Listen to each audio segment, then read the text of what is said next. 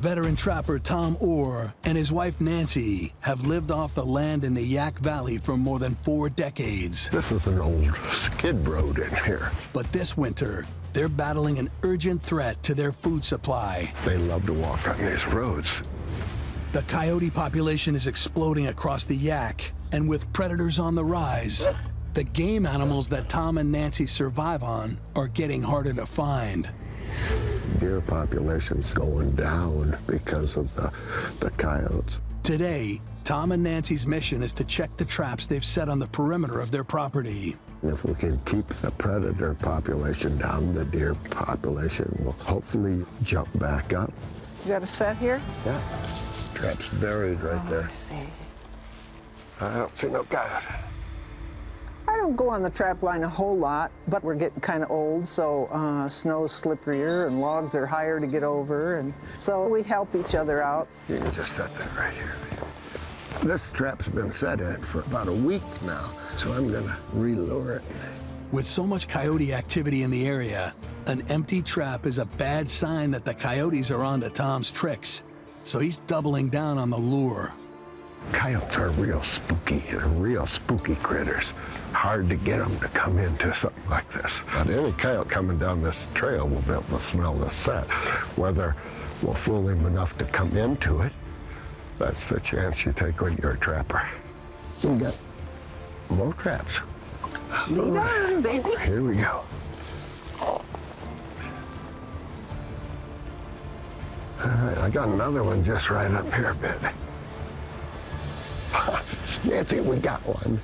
We got one. All right. We got a coyote, a nice one too. I've been trapping for 50 years and it still gives me a thrill. Now you got work to do. The catch isn't just good for the deer population, it's also good for Tom's bottom line. Once it's processed, the coyote pelt can be sold for a good payday. The big thing with coyotes, you want to try to skin them the same day you catch them.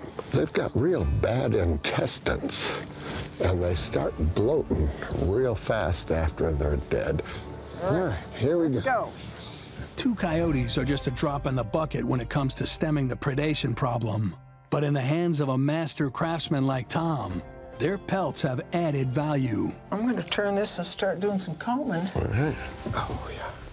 Tom can make $100 for a raw fur, and even more if he turns the pelt into a craft. See, what we're doing is we're skinning these toe bones out all the way to the claw. Tom caught this coyote last week, so we skinned it and we tanned it, and, and then you go to combing to make it be as pretty as it can be. Okay, this one's combed. Good job. Thank you. Make you some coffee. How's All that? right, that sounds good. Don't cut any holes. I'm trying not to. Tom's technique requires precision, but he's also racing the clock. The longer the hide remains on the body, the greater the chances it will rot. All right. And now we're gonna hang this up and we're gonna finish skinning out the rest of it here. This is what's called a, a cased skin. You cut down the hind leg and pull all that hide all the way off like you would a t-shirt. But the moment of truth comes when he reaches the midsection around the gut. This part of the belly right here is just starting to turn a little bit green already. I mean, you wouldn't have wanted to wait 24 hours to do it. The hide isn't damaged, which means Tom can use the pelt for one of his high-priced crafts.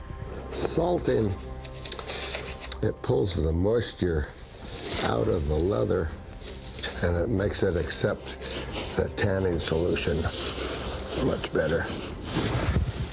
It's hard to believe that this used to look like that. All right, we're gonna take this to the house and we're gonna make a hat out of